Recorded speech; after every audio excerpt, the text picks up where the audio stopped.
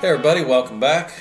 Another Tuesday Tech Talk. I know we're running a little behind on this one this week. It's been a busy week. I'm actually trying to shoot this now in the morning before things get started. Hopefully the phone doesn't start ringing. Um, last week we looked at um, small drivers, um, mid-bass drivers, woofers, and we discussed different options and things that are available, uh, different cone materials and things like that. This week we're going to go to the upper frequency range and we're going to talk about high frequency selection a little bit and some of the differences between some of these options that are available out there, different types of tweeters, what their strengths are, and what their weaknesses are. Um, let's start with the uh, the ribbon tweeter. Had some requests about this. The um, this is one of the uh, Aurum Cantus ribbon tweeters. Uh, we did several kits using these tweeters. I think we went through about 250 of them uh, with the Criterion and Delucio kits. And I used to be a distributor for the Raven ribbon products many years ago. So very familiar with the ribbons. Uh, what the ribbon is, is a suspended element.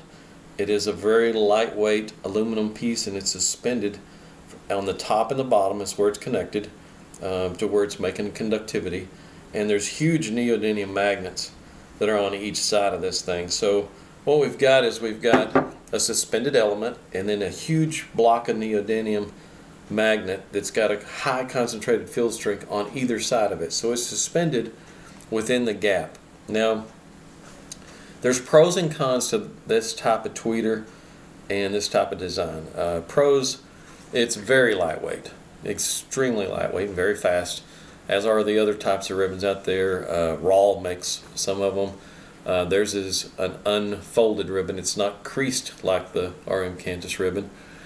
And um, it's just a taut, stretched ribbon. But uh, very lightweight, uh, very agile. It captures the trailing edge um, of instruments really well, like the crack of a cymbal. That decay is captured really well by the ribbons. Cons, they don't play down very low um, in most cases. This one would play down to a crossover point of about 2500 hertz. That's it. You just can't force it down much lower. If you if you let it get down in the lower frequency ranges, it'll tend to want to flutter. It'll tend to want to start moving around, and as it moves, it's in and out of the gap. The gap is a focused field strength, so as soon as it starts moving, it's it's out of that field strength, so to speak. So it loses control quickly, kind of like the old Apogee speakers they had the long suspended element ribbons and if you played them very hard you notice they would they just start swaying in and out. They're just in and out of the field uh, losing losing some control. Um, that's common amongst those things. They're also very very fragile. So if you were to just blow on them you can see the element moving. It's you know just gently blowing on it. It's very fragile. If you were to just on it like that you would stretch it out and you'd have to go in and retension it or replace the element. The elements are replaceable when they're damaged. You can take these things out. You can drop another one in. You have to use plastic tweezers. If you use a metal tweezer, it'll just suck right into the gap. So you have to be careful, and it's called optically aligning. So you, you look at it and line it up and get it straight, and you hope that you kept the same tension in it. As you change the tension in it, you're changing the sensitivity. So very fragile. I've had customers with these that told me their their wife was vacuuming and uh, she put the attachment on her vacuum with a little brush on it and she's cleaning over the front of the speaker and as soon as she wiped across the tweeter and sucked the dust off of the faceplate it just sucked the element right out. So very fragile and I've had guys try to put them in their cars. They don't last long in car audio. As soon as you roll the window down going down the going down the road the, the wind tear it up um, I even remember there was years ago that uh, Legacy Audio used some of the ribbon tweeters in some of their models, and uh, it was featured on the cover of the Absolute Sound. And if you look at that cover, you'll see the element of one of the ribbons is folded over against the front of it like a little wet noodle. It's the equivalent of a blown tweeter in the speaker that's on the cover of the magazine. That was kind of sad. Um, so yeah, they're very fragile. Um, they don't really capture the attack really well like other drivers do. Um, the RAAL's not too bad. They have an OEM version that's pretty good, um, but they typically don't really capture like the crack of a cymbal, but they capture the decay really really well.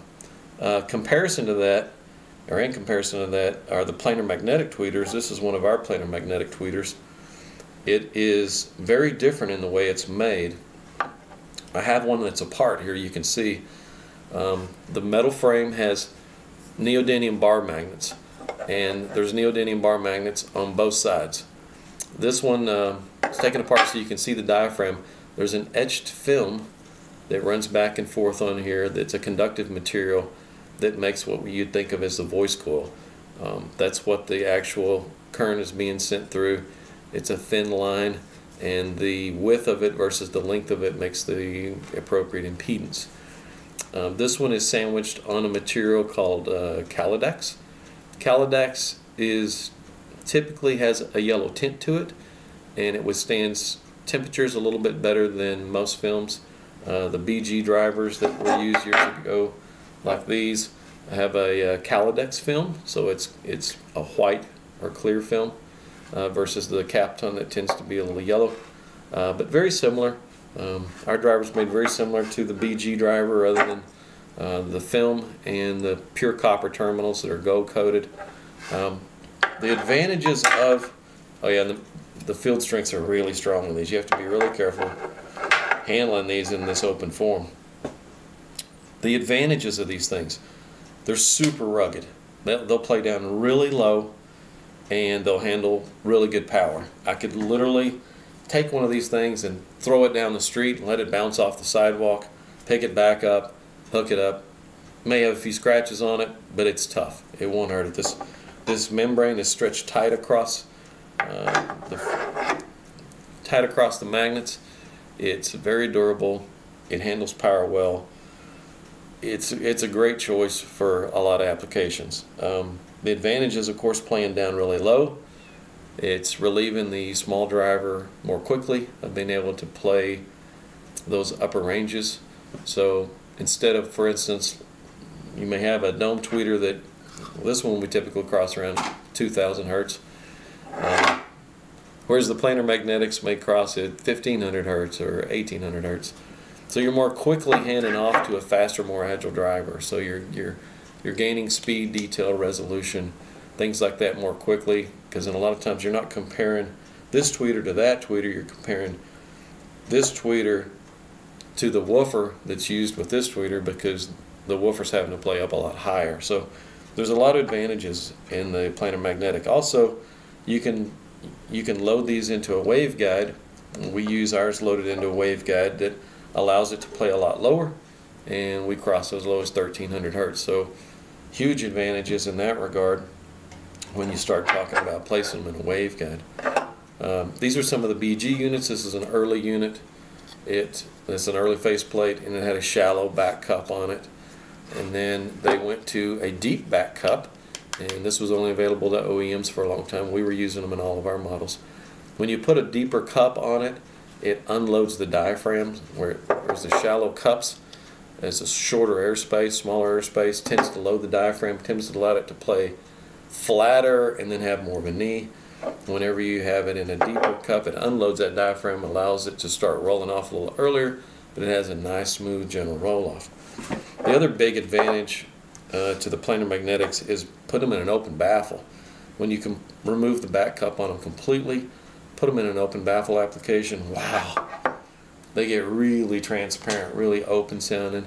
There's no load on the diaphragm at all, and boy, do they sound good. Really clear. Uh, they'll play down really low.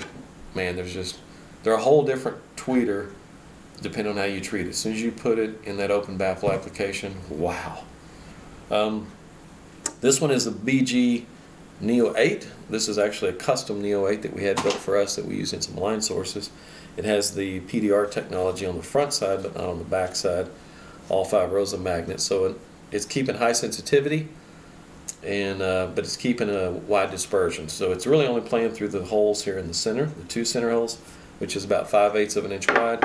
And the smaller the diaphragm, the wider the dispersion. As soon as the diaphragm starts getting bigger and bigger, the dispersion is more limited. Now, we use these in a line source where we had a whole line of them, and they work great in that application. If you just use one as a single tweeter, the limitation is the height of the tweeter.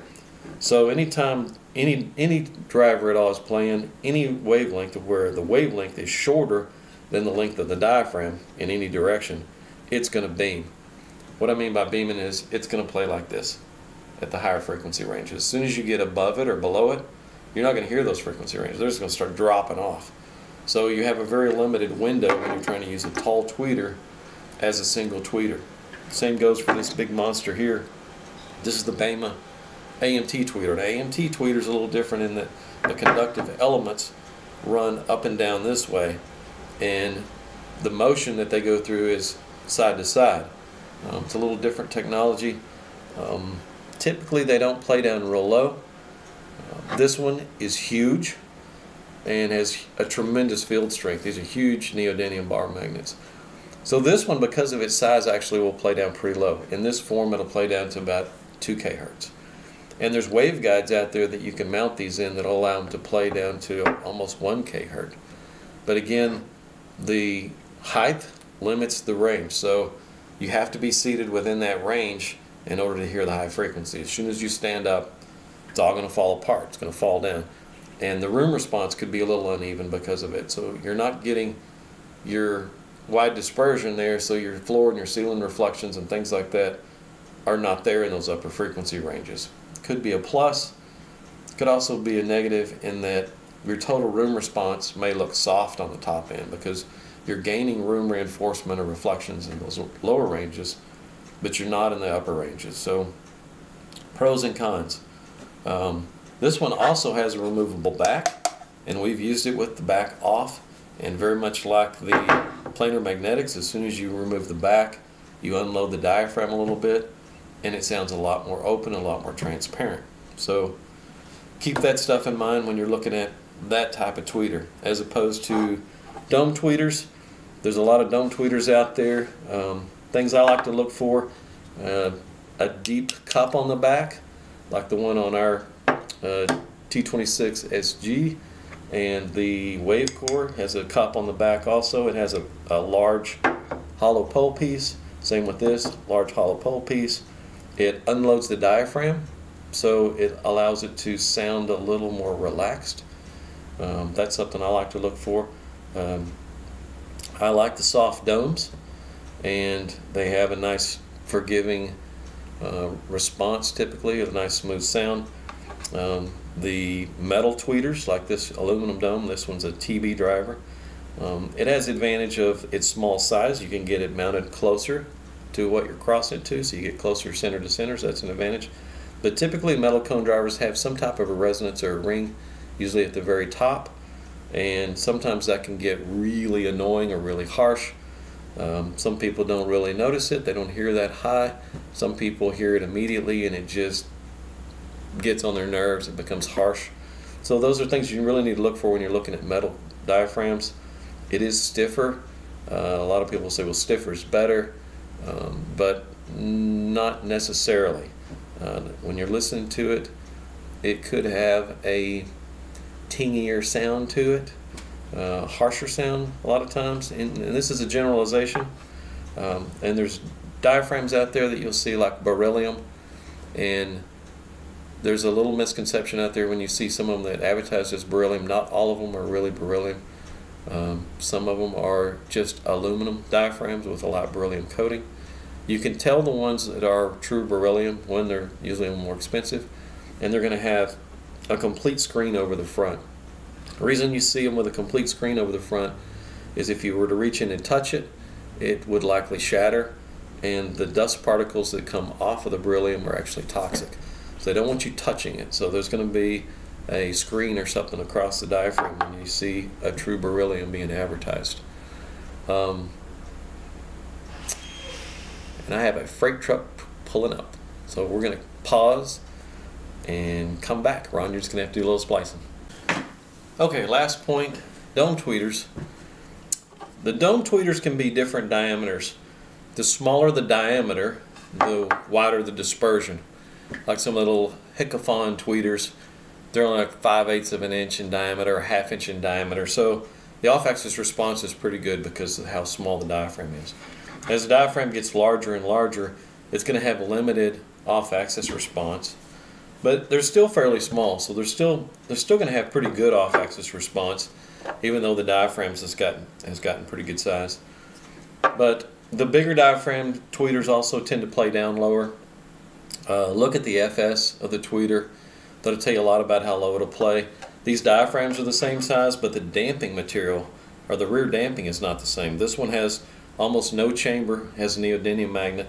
This one using almost exact same diaphragm, probably if not the same diaphragm, has a ceramic magnet but a big cup on the back and a big open pole piece and the FS is a lot lower. So this one is capable of playing down a lot lower even though the diaphragms are the same. So keep those things in mind. Um, and then as you get back down to one inch tweeters, a lot of them still, because the rear chamber is so large and so well damped, the diaphragm is well damped, it has a low FS and it's capable of playing down really low. Um, tweeters like our GRT3 has damping behind the diaphragm but not deep like that one. Its FS is higher around 1100 limited to about 2000 hertz and higher on the crossover point so keep that stuff in mind. This one has a deep chamber that helps it out quite a bit. Um, it's still neodymium motor structure. Um, there's a lot of this stuff out there. You're just going to have to look at the parameters and look at the application to decide if it's right for the application you're wanting to use it in. If you have questions about an application and we get these a lot uh, email them to me. Don't write a book. Please don't tell me about your whole audio history. Just ask me the question and I'll give you a quick answer. So that's the easiest way for me to respond to you guys. I know you guys also like to put a lot of information in the comment section. Same there. If you have a question or a comment, drop it in the comments section. I appreciate you guys uh, responding. I love all the thumbs up and uh, the views that we're starting to get on these are really good. Be sure and share them with your buddies and your forums and copy and paste the, the URLs and pass this stuff around. I'm trying to do this on an educational basis. I know I've used some of our own products as examples. That's kind of what I have at hand, uh, especially when I start getting into kits. Just what I have on hand to use as samples. That's what I've got. Um, that's it though for this week. If you have anything let me know. Thanks for viewing. See you next week.